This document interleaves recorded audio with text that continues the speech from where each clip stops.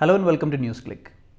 On Tuesday, the Supreme Court lifted the restrictions imposed recently on cattle trade by the central government. The Supreme Court order came in response to four petitions filed by various organizations, one of them being the All India Kisan Sabha, the largest farmers organization in India. Today we have with us Subhash Chandran, the lawyer representing the All India Kisan Sabha. Welcome, Subhash. Thank you. The Kisan Sabha's petition said that the central government's order, which restricted the cattle trade in India, is illegal and unconstitutional. Why was that? As you mentioned, four petitions were there before the Honorable Supreme Court. One was filed by All India Kisan Sabha on behalf of the farmers. The other was All India Jamiatul Qureshi Association, and one another was by the government of State Bengal, and one another one individual from Kerala. All these petitions came together, and Supreme Court disposed these petitions together itself. So the main contentions of All India Kisan Sabha was the notification dated 23rd May 2017. It's itself illegal and against the constitutional principles because the Parent Act, the Prevention of Cruelty to Animals Act 1960, there is a provision in the in this act that there is no cruelty if the cattle are slaughtered for the purpose of food or religious purpose. But in the notification, in the impugned or notification, there is a restriction, there is a ban for the uh, slaughtering of the cattle for the purpose of food and religious purpose. So the it itself contrary to the Parent Act. So that was the main uh, argument on behalf of Kisan Sabha. And the impugned order and this notification, it violates the rights under Article 19.1g of Constitution of India, Article 21, Article 25 and 29. 19.1g, a person has a right to practice his trade. And uh, under Article 21 also, Article 25, right to religion and uh, right to have religious purpose, all these things. So all these constitutional provisions, it's this on impugned notification, it violates all these things. And the another ground, which was mainly uh, focused by the Kisan Sabha is, it violates the federal principles of our country. The market and due to market, the right is for the state governments for making rules and regulations. But through this notification, the central government is trying to implement some kind of interference.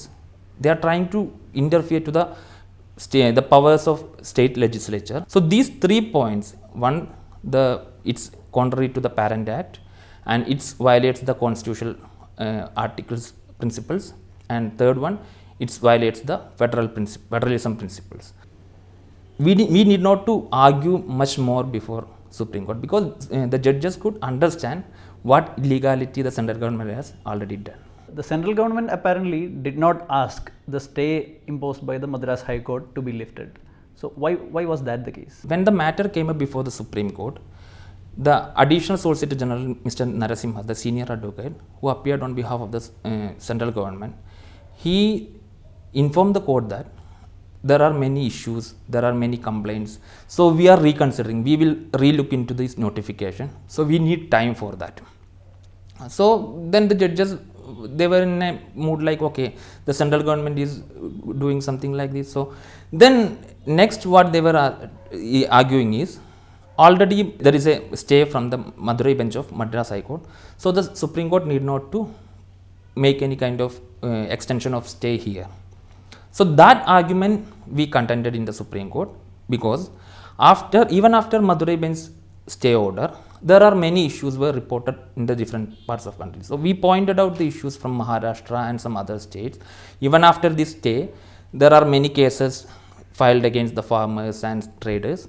So we requested the we requested the Supreme Court to make it clear in its order that there should be there is a national wide stay for this thing and which was granted by the Supreme Court and the senior counsel who appeared for the central government himself he was well aware that if they go for the argument on merits they will lose the case and it will be a big setback, setback for the central government. So, in that instant, they realize and now they backfooted from this their step and now they, they will be coming up with a new notification. So the central government will not stop with this. So uh, when it says it is going to come up with a new notification, what kind of new what kind of changes do you anticipate uh, will be there in the rules? Let us see. Actually, this is this is not uh, not a accidental thing. Intentionally, the central government. It's because of the policies, the ideology of the ruling party, BJP and RSS. They want the uh, cattle slaughter to be banned, especially the cow slaughter to be banned in India. So they will try their level best to do it. But as I mentioned before, that's the subject of state. Only three states has banned the. There are some other restrictions, but and the total ban is only in three states. And the states like Kerala, in northeastern states and southern states, not only Kerala, the southern other southern states also, they will never go for this. So the central government, BJP and the RSS, they want to impose their ideology through some uh, kind of such actions, such notification, and they, which where they cannot enter directly because it's the that's the powers of the state government. So only just to control the market or just to control these things, they are trying to impose this uh, notification through the Prevention of Cruelty to Animal Act 1960. So they may come up with a new notification and we made it clear in the Supreme Court and the judges also observed that if they are coming with a notification where we have again some kind of uh, uh, some challenges or some issues, we can again approach the Supreme Court. We have granted that liberty also from the Supreme Court. So we'll be waiting for the new notification. We have already represented, we have made our representation to the union minister and now all these petitions they they inform that they will be considering these petitions also what the contentions and the grounds in this petition they will consider that also so even after considering all these things even after discussing with all the stakeholders if they are coming with a notification which is not in the favor of uh, farmers we will again challenge it before the supreme court So you just mentioned uh, about the concerns of the farmers. Could you tell us a little more about what the grievances on behalf of farmers which were raised uh, by the Kisan Sabha in this petition? See, we mainly focus the issues of dairy farmers and other farmers also. See, what happens with this notification? See, many people are asking, thinking like it's just cattle trade or it's uh, controlling the cattle trade. What, what's the problem with the farmers? The problem is, for example, when the drought comes, example now um, just two three months before there was a drought in maharashtra. In such occasion the people are not having the livelihood for the human being. And in such occasion the farmers cannot keep their cattle with them. So what they used to do is they will sell their cattle and they will keep that money safe. And when the situation is okay they will purchase another cattle and they will continue with their work. Through this notification if i want to sell my cattle in a market i have to give a uh, affidavit. From i have to get a uh, document from the revenue department that i am a agri- agrarian. Then i have to give an affidavit. I am not selling it for the purpose of slaughter. And if you are buying it you also have to give an affidavit that stating that i am not buying it for slaughtering and i will not sell it for the next 6 months. So you have to keep it for the next six months and whenever they are asking you to produce it, you have to produce it. So this is uh, choking out the free moment of the this trading and they are now forced to give you some affidavit and these procedures and all these things and this is just to harass the farmers. This is the one thing and the other thing the problem is the milking age, of the cattle. It's normally the uh, uh, term of lifetime of a cattle is 20 to 25 years. Milking age is only uh, 8 to 10 years. So the rest of the time so rest of the time the farmer have to keep it and feed it for. And normally when i talk to some farmers they have to spend at least 70 80000 rupees per year for keeping a cattle So who will pay the this 10 year their its expense means almost 8, uh, 8 to 10 lakh rupees for just keeping a cattle which is not productive. So this is the another problem.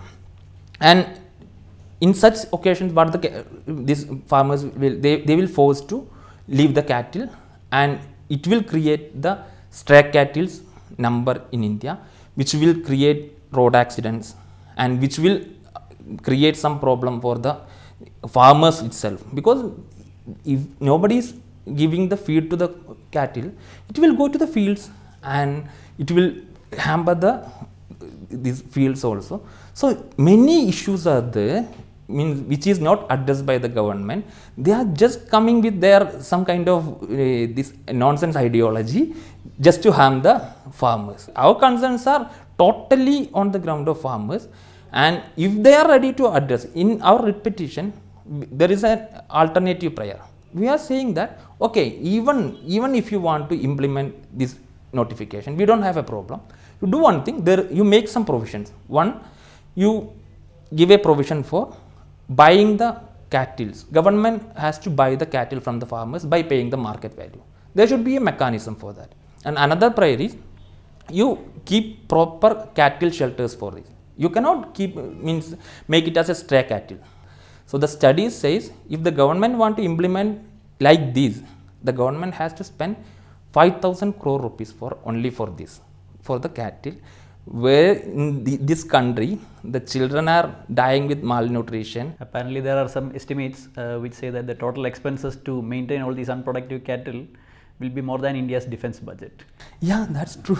We mentioned this notification as the second surgical strike on farmers after the demonetization. Because even the means the uh, Kisan organizations of BJP or RSS backed Kisan organization they are also fighting the, on the grounds.